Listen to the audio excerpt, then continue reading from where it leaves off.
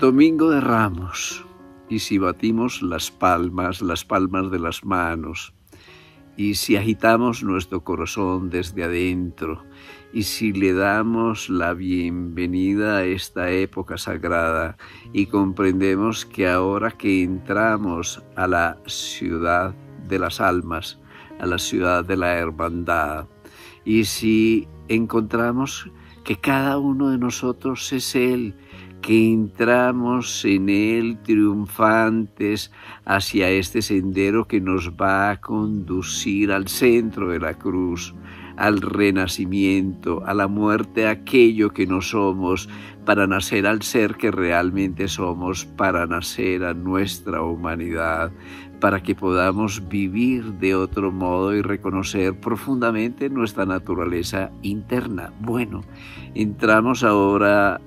en ese territorio sagrado donde las procesiones van a ser internas, donde vamos a vivir procesos en los que a través del dolor vamos a revelar de todo corazón. El amor que somos y en ese amor que somos construir aquello que llamamos el cuerpo místico de Cristo, ser células de ese cuerpo de la humanidad, ser un órgano en este gran cuerpo de la naturaleza para que cada uno de nosotros podamos dar nuestra nota. Qué bueno es que aprovechamos, aprovechemos este viaje interior, este tiempo hacia la interiorización, este tiempo sagrado en el que nos aproximamos de nuevo al hogar y en el hogar encender la hoguera. Esa hoguera es el fuego del amor incondicional. Qué bueno sería que aprovecháramos para que encontrarnos,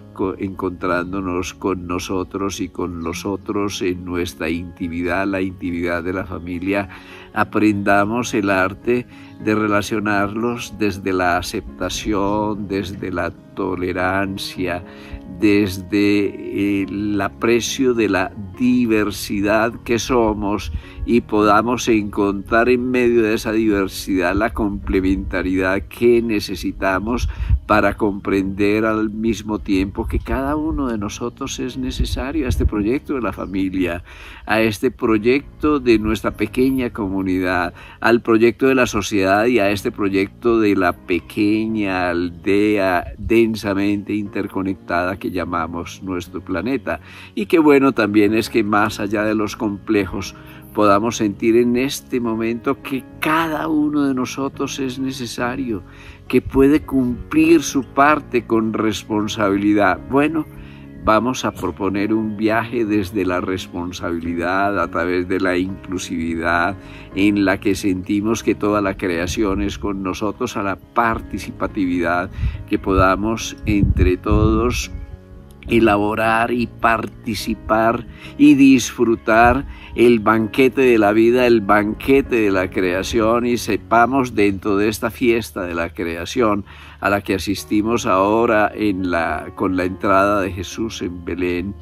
que cada uno de nosotros es necesario